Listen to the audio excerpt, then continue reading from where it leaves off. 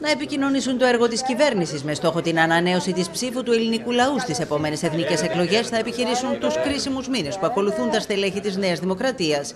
Στη χθεσινή Ακαδημία Πολιτικής Επιμόρφωσης Τελεχών του κόμματος στα Χανιά, τρεις υπουργοί, ο Γραμματέας Πολιτικής Επιτροπής Παύλος Μαρινάκης, ο Γραμματέας Οργανωτικούς Τέλειο Κονταδάκης και οι βουλευτές Ντόρα Μπακογιάννη, Μανούσο Βολουδάκης και Βασίλης Διγαλάκης, αλλά και ο Γιάννης Λοβέρδος έθεσαν το δίλημα της κάλπης. Οι επιλογές είναι πάρα πάρα πάρα πολύ διακριτές. Από τη μία ο Κυριάκος Μητσοτάκης και η Νέα Δημοκρατία που διαχειρίστηκαν τις περισσότερες και μεγαλύτερες κρίσεις και ταυτοχρόνως εφάρμοσαν το προεκλογικό τους πρόγραμμα. Είπαν την αλήθεια στους πολίτες, δεν τους κορόντεψαν στιγμή και προχώρησαν τις μεγαλύτερες τομές που έχουν γίνει τα τελευταία χρόνια στη χώρα. Απ' την άλλη, ο ΣΥΡΙΖΑ, ο Αλέξης Τσίπρας, μια παράταξη που εκπροσωπεί μόνο το ψέμα, μια παράταξη που 4,5 χρόνια δεν έκανε τίποτα για το καλό του τόπου. Να επιμορφωθούν τα στελέχη μας όσον αφορά το έργο το οποίο έχει επιτευχθεί, ένα έργο τεράστιο που έχει επιτελεστεί κάτω υπό δύσκολες συνθήκες, θα έλεγα τις δυσκολότερες από την μεταπολίτευση έως σήμερα, σε πολύ σύντομο χρονικό διάστημα, ένα έργο το οποίο ε, θα μείνει στην ιστορία.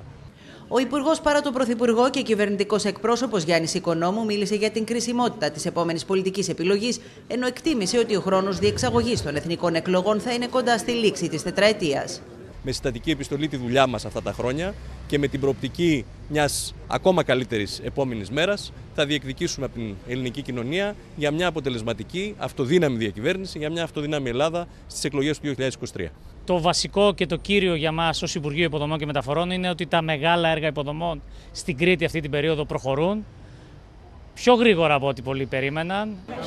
Με αναφορά στο θετικό πρόσημο της τουριστικής περίοδου στα Χανιά και δίνοντας το στίγμα των επόμενων κινήσεων με στόχο τη διατήρηση των εντυπωσιακών αριθμών στο κομμάτι του τουρισμού, ήταν η τοποθέτηση της Υφυπουργού Τουρισμού Σοφία Ζαχαράκη. Θυμίζω ότι 28 Φεβρουαρίου είχαμε την επίθεση των Ρώσων στην Ουκρανία και μια μεγάλη ανατροπή του προγραμματισμού. Είδαμε ότι η Ελλάδα μας άντεξε και αυτή τη στιγμή θα φτάσουμε τα έσοδα του 2019, θυμίζω τα 18 δισεκατομμύρια και αυτό μας δίνει αν θέλετε την αισιοδοξία και το 23. Με έντονα προεκλογικό χρώμα τοποθετήθηκαν οι βουλευτές Χανίων της Νέας Δημοκρατίας.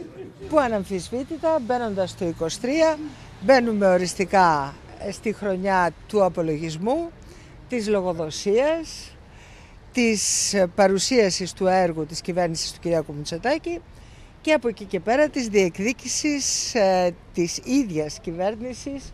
Ξεκινάει πια η προσπάθεια να δείξουμε στον ελληνικό λαό, στην ελληνική κοινωνία, ποιο είναι το έργο της τετραετίας, γιατί διεκδικούμε ξανά την ψήφο του ελληνικού λαού στις εκλογές όταν θα έρθουν στο τέλος της τετραετίας.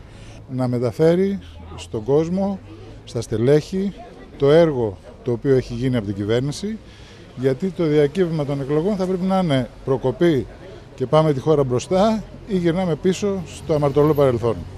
Ο Υφυπουργός Υποδομών και Ανάπτυξης Γιώργος Καραγιάννης, μιλώντας χθες στο κεντρικό δελτίο ειδήσεων τη Κρήτη TV, αναφέρθηκε στα μεγάλα έργα του νησιού. Τόνισε ότι μέχρι τα τέλη Μαρτίου θα έχουν βγει τα τεύχη δημοπράτηση για τον βόρειο δικό άξονα Κρήτης. Ήδη έχουμε ξεκινήσει οι εργασίες στο Νεάπολη Άγιος Νικόλαος. Αρχές του 2023 θα ξεκινήσουν εργασίες και στο Χερσόνησος Νεάπολη. Mm Ο σχεδιασμός της κυβέρνησης και του Υπουργείου Υποδομών και Μεταφορών εξελίσσεται έτσι όπως έχουμε πει και έτσι όπως έχουμε δεσμευτεί. Ο κ. Καραγιάννης, σχολιάζοντας τις προσφυγές ιδιωτών στο Συμβούλιο της Επικρατείας για την χάραξη του νέου ΒΟΑΚ, υπογράμμισε πως ο αυτοκινητόδρομος δεν μπορεί να γίνει στα μέτρα κάθε πολίτη χωριστά. Ξέρουμε ότι η Κρήτη έχει τις ιδιαιτερότητές της. Υπάρχει μια πολύ μεγάλη τουριστική ανάπτυξη. Έχουν χτιστεί σε όλο αυτό το κομμάτι πολλές και σοβαρές και μεγάλες ξενοδοχειακές μονάδες. Προσπαθήσαμε λοιπόν να κάνουμε ένα σχεδιασμό ο οποίος θα έχει τις μικρότερες δυνατές επιπτώσεις στην ανάπτυξη, στην τουριστική ανάπτυξη Κρήτης. Σήμερα ο Υφυπουργός Υποδομών και Ανάπτυξης είχε σειρά συναντήσεων με φορείς της αυτοδιοίκησης στα Χανιά και την διοίκηση του Οργανισμού Ανάπτυξης Κρήτης, ενώ πραγματοποίησε αυτοψία στα έργα που εκτελούνται στον κόμπο Μουρνιών και στο τμήμα του ΒΟΑΚ στις Καλύβες.